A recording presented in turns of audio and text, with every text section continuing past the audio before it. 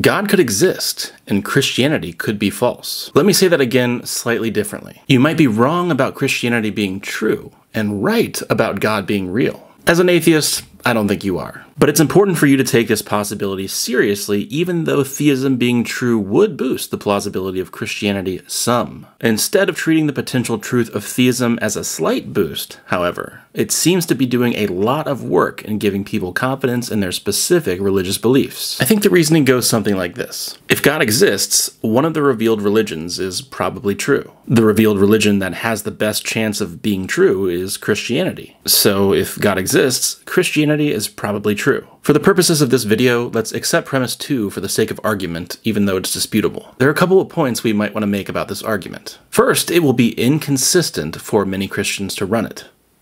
Why?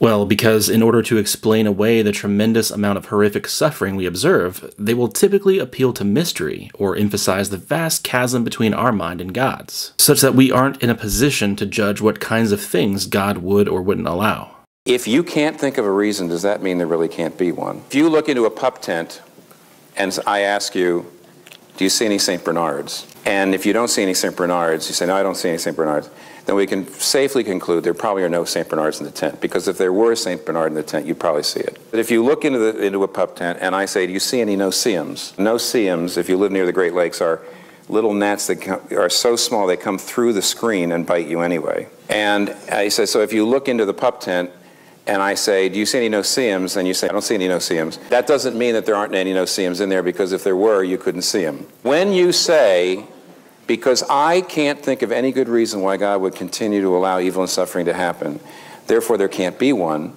you're assuming that whatever reasons there would be would be more like St. Bernard's than no-see-ums. Well, why should it be? But if they do that, then that very kind of thinking could be used as a reason to be skeptical of premise one. If God can have reasons beyond our grasp for permitting the Holocaust, surely he could have some for not revealing himself on a timetable that makes sense to us. And who's to say that intelligence isn't in the early stages of development on Earth in the grand scheme of things anyway? Second, one could reject premise one by claiming it's false if none of the revealed religions are well evidenced. Consider if God exists, he would probably reveal himself in a well evidenced religion.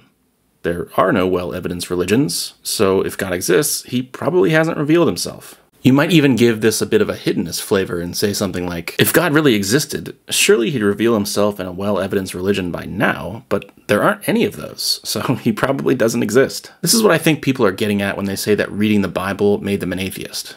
And I read the Bible cover to cover, and I think that anyone who is thinking about maybe being an atheist, uh, if you read the Bible or the Koran or the Torah uh, cover to cover, I believe you will emerge from that as an atheist. But the Bible itself will turn you atheist faster than anything. Strictly speaking, reading the Bible should not cause atheism unless you are implicitly working through the reasoning described earlier. Because, as I said at the beginning, God could exist even if Christianity is false. Moving beyond that, though, my main points are 1. If you are attracted to appealing to mystery to get God off the hook for stuff as a Christian, you shouldn't use arguments like this. And 2. Skeptics can turn this style of reasoning back onto the Christian pretty easily. It would be quite surprising for God to reveal himself through a religion with less than ideal evidential support, wouldn't it? Not to mention using one with big human sacrifice vibes, like Christianity. I go over more of that in this video next to me, so tap here and I'll see you there.